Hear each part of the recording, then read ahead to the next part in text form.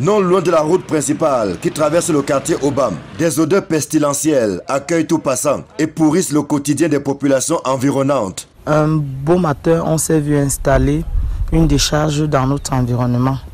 Et nous sommes en train de bagarrer ou survivre au quotidien entre odeurs, mouches, moustiques et de nuit, nuisances sonores. Parce que de journée, ils viennent verser les ordures juste en face de nous là. Et de nuit, ils viennent enlever. Donc ça fait que nous ne dormons pas. C'est un calvaire qui dure depuis quelques mois. Alors que les habitants de ce quartier de l'arrondissement de Yaoundé 3e menaient tranquillement leur vie, ils se sont vus imposer un site de décharge par lequel transitent les ordures et autres déchets collectés dans cette partie de la ville. C'est venu comme, comme ça, petitement. Hmm. Oui, parce qu'il y avait un petit dépôt d'ordures là.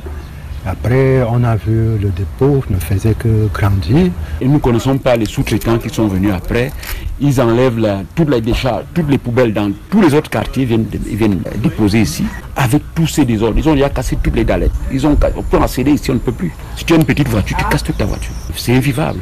Dans cette partie du quartier Obam, c'est désormais un cancer de mouches et de moustiques qui rythme le quotidien des populations. Les cris de détresse des riverains peinent à trouver un écho favorable jusqu'ici. Il y a des jours où la décharge est tellement pleine que donc, ils font 4 jours, 3 jours sans venir enlever leurs ordures. Voilà les pluies qui s'annoncent. Et par moment, nous avons les inondations ici. Imaginez-vous, avec non seulement les ordures là, avec euh, l'eau et puis les odeurs, on ne va pas s'en sortir. C'est de dire euh, à ceux qui décident, aux décideurs, de regarder vraiment c'est pas ici qu'il faudrait qu'il fasse ça. C'est pas ici. On ne doit pas exposer nos familles pour une décharge. Qu'on le déplace pour le mettre ailleurs. Parce qu'un site de décharge en plein centre urbain, c'est inconcevable. C'est un jeu de cache-cache entre les autorités administratives, la mairie de Yaoundé 3e, l'entreprise sous-traitante qui opère ici et les propriétaires du terrain sur lequel la décharge est installée. Personne pour nous expliquer le choix porté sur cette zone, ainsi que les tenants et les aboutissants du projet en lui-même. À Obama, les ordures dictent les lois aux populations qui n'ont que leurs yeux pour pleurer.